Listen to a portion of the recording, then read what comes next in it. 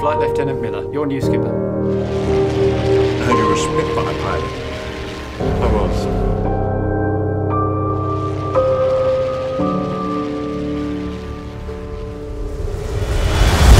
I don't like wasting my time. I am here to fight a war. Half the men on this base won't survive your precious war.